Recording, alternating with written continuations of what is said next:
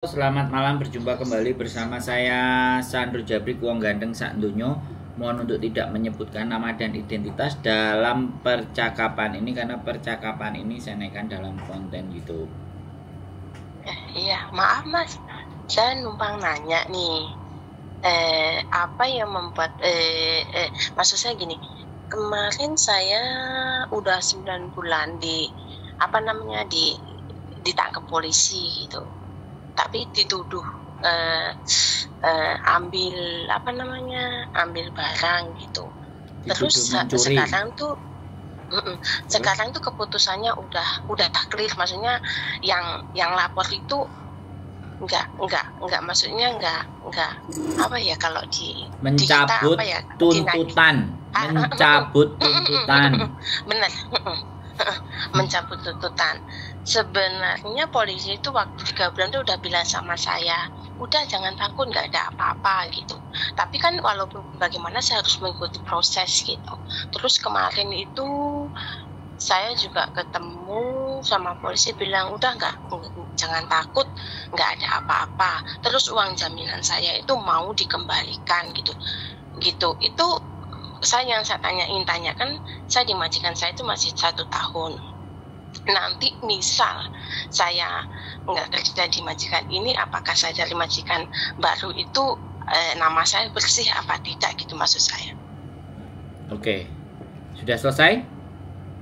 sudah Oke, yang harus sampean minta bukan hanya uang jaminan, tapi surat pernyataan bahwa surat keterangan atau yang menjelaskan bahwa kasus itu tidak dilanjutkan.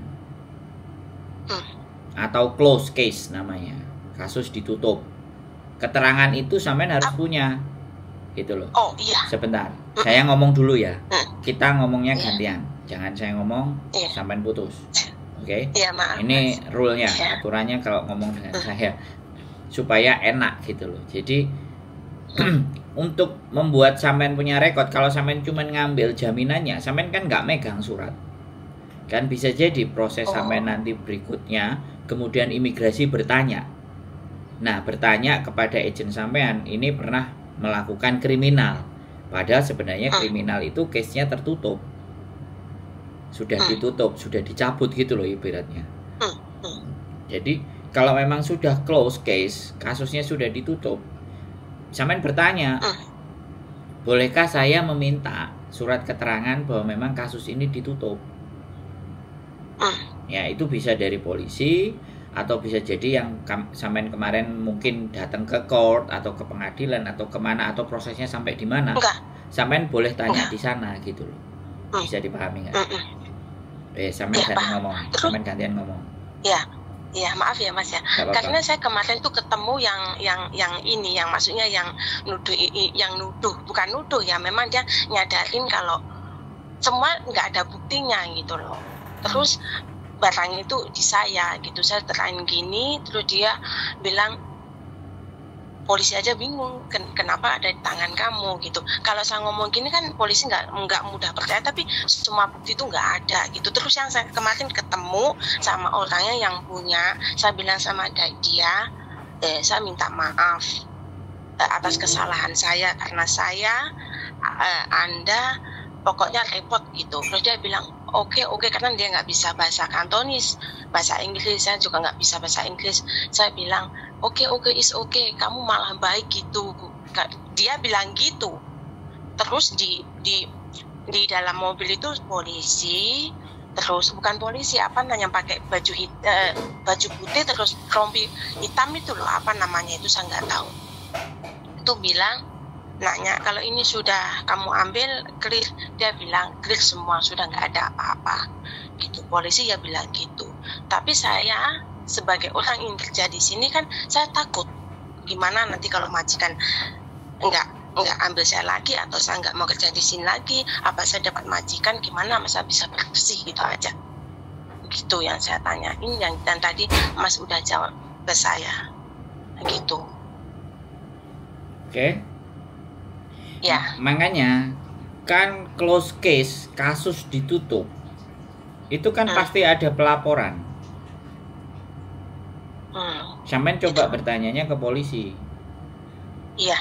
Untuk rekod saya di kemudian hari kan saya khawatir. Tujuannya saya minta itu tuh Iya. untuk apa? Nah, sampean ngomong kayak gitu sama polisi. Iya. Nah, Iya, iya. karena saya masih pingin butuh bekerja di sini. Ada nggak surat keterangan bahwa pencabutan berkas perkara itu ada nggak gitu? Bahwa Iya. kasus ini tidak dilanjut atau kasus ini ditutup itu kan pasti ada laporan Iya, iya, iya. benar. dari kepolisian. Nah, mbaknya boleh nanya sebagai bentuk rasa jaminan atau rasa aman di kemudian hari sampean tidak masuk apa bagian dari perkara. Kalau sampean mau Oh iya. begitu Iya, iya, ceritanya boleh Iya. nggak apa-apa Iya, nanti nanti. apa keterangan Oh. dari mereka oh tidak ada di sini. Intinya kalau kasusmu sudah diberhentikan nah oke kasih saya solusi. Seandainya saya ke depan masih dapat kerja sini imigrasi mencatat rekod saya pernah masuk polisi dan dituduh mencuri. Kira-kira kasus itu bisa nggak terhapus dalam file? Kan saya tidak tahu. Boleh mohon arahan saran dari Pak Polisi gimana? Dari Aser seperti apa? Oh. kan boleh Oh, iya, sampean iya, bertanya iya, iya. begitu sama Asernya Iya, iya. Iya, iya, iya, boleh, boleh. Nah, Kemarin da, kemarin dia juga nanya eh, apa adanya, dia jawab juga apa adanya. Karena nggak nggak maksudnya nggak usah di apa nama ke hakim ke apa itu nggak usah karena nggak ada nggak ada kekuatan. Terus yang yang merasa kehilangan itu udah oke malah malah bilang terima kasih ke saya gitu. Tapi kan saya sebagai seorang pembantu di sini ya kerja di sini kan saya kan khawatir gitu loh. Gitu. Ayo Ya gitu makanya aja. sampean minta Iya. suratnya Iya, iya saya saya tahu, saya saya udah paham, tapi saya nah maksud saya unek-unek ke, ke hati saya ke eh, bilang sama Mas gitu loh, kalau itu nanti saya akan pasti. nah, Jadi saya sudah lega gitu, makasih banyak nah, gitu. karena sekali lagi yang kita butuhkan Hmm. untuk berbincang-bincang itu kan solusi toh mbak Iya, iya. Bukan benar. bukan permasalahan itu yang terus kita bicarakan tapi solusi dari sebuah Iya. permasalahan tersebut itu apa kan sampean pingin bebas rekotan dari apa pun kan kan yang sampean pinginkan kan itu nah saya kasih Iya, iya, jawaban ya silahkan bertanya Iya. sama asernya karena penutupan Iya. kasus itu kan pasti harusnya ada suratnya ya saya nggak tahu prosedur Iya, di polisi itu seperti apa tapi logika saya berpikir kalau sampean pegang surat itu dan aman dan surat itu dari kepolisian dan memang ada pernyataan untuk pencabutan perkara. Ibaratnya tidak dilanjutkan. Nah dan itu ada dan dilakukan oleh si pelapor. Otomatis kan enak sampean kalau pegang itu semua. Iya, iya, iya. ya bisa dari polisi bisa juga langsung dari orang yang nuduh. Boleh nggak aku minta pernyataan bahwa kamu memang sudah tidak melanjutkan perkara ini. Karena mau nggak mau aku masih mau kerja di sini. Kalau dia bilang nggak mau oh ya sudah. Kan kita nggak ada paksaan. Nah makanya kan dari awal pada saat ngajak berkasus itu minimalnya kita itu juga harus bertanya juga ke polisi. Ketika dia sudah cabut pencabutannya tanggal berapa tidak melanjutkan kasusnya tanggal berapa itu ranahnya semuanya kan polisi mbak Iya, iya. ya ah, jadi sampean Iya. bertanya detail tentang itu kepada polisi nanti kalau ternyata Iya, iya. nah sambil sampean rekam apa yang disampaikan Pak Polisi kalau semisalnya nanti sampean tidak mendapatkan surat tersebut karena tidak ada prosedur untuk dikasihkan ke sampean minimalnya ada bukti percakapan sampean dengan polisi Hmm. sehingga di kemudian hari sampean bisa tunjukkan itu Oh se- iya, sebagai maaf, bukti Mas. buat sampean jadi ini kan Maaf ya, solusi saya Iya, iya. gimana Maaf saya ingin nanya juga, kalau direkam boleh apa enggak takut Ya, menurut saya memang nggak boleh. Minta izin. memang nggak Saya takut boleh jujur aja. Heeh, tapi kan ketakutan sampean kan nggak terjawab Iya. garansi sampean untuk nanti tidak itu dijadikan sebuah perkara itu kan nggak ada boleh nggak saya Iya, iya, iya, gitu paham. Iya, paham, paham. memang merekam itu sebuah tindakan ilegal tapi kalau prosedur sampean jaluk su- meminta suratnya terus tidak dikasih ya alternatifnya kan jadi itu Oh iya, iya. Nah, saya kembalikan akan ke sampean. Sampean mau merekam Iya, iya. ataupun tidak silahkan. Tapi Iya, iya. saya cuma ngasih plan, ngasih rencana A, B, C, D. Kalau orang bertanya sama saya, pasti saya akan memberikan plan A, plan B, plan C, plan D.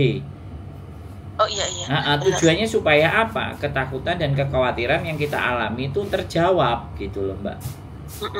Solusinya ada gitu loh. Kan ini Oh iya. masalahnya sampean kan sampean ingin bersih catatan, ya kan? Iya iya iya. Nah, Iya. nah makanya yang membersihkan catatan kita kalau di Indonesia kan SKCK, surat keterangan kepolisian, catatan kepolisian bahwa sampean baik. Hmm.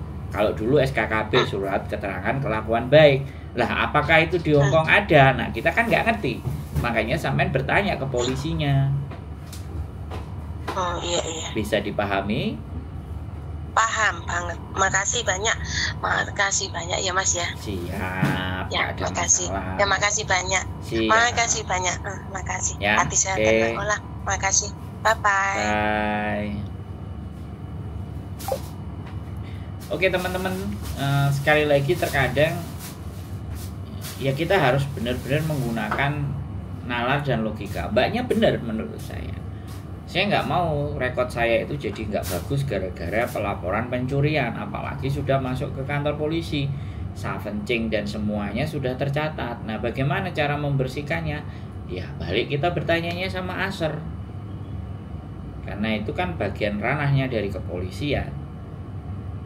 Makanya kalau bertanya kepada saya, sekali lagi saya himbau buat teman-teman semuanya, kalau bertanyanya sama saya bukan persyaratan atau apa pun, jawaban saya tidak bisa hanya jawab bisa ataupun tidak, benar ataupun salah, boleh ataupun nggak boleh, bukan bukan hanya seperti itu.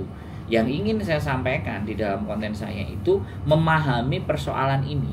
Kita benar-benar memahami persoalan ini sehingga kita paham dan persoalan itu jadi duduk ya terduduk persoalannya sehingga kita bisa mengatur strategi dan langkah untuk bagaimana kira-kira solusinya yang mau kita ambil. Itu kalau dengan saya. Makanya kenapa harus panjang? Kenapa saya juga tidak hanya bisa membalasnya by WA kenapa harus saya telepon? Dan ketika saya telepon saya kontenin. Agar tujuannya di situ. Kembali kepada teman-teman. Kalau memang tidak menginginkan untuk dikontenin ya silahkan datang aja ke rumah ngobrol. Dan sampaikan alasannya kenapa nggak bisa dikontenin.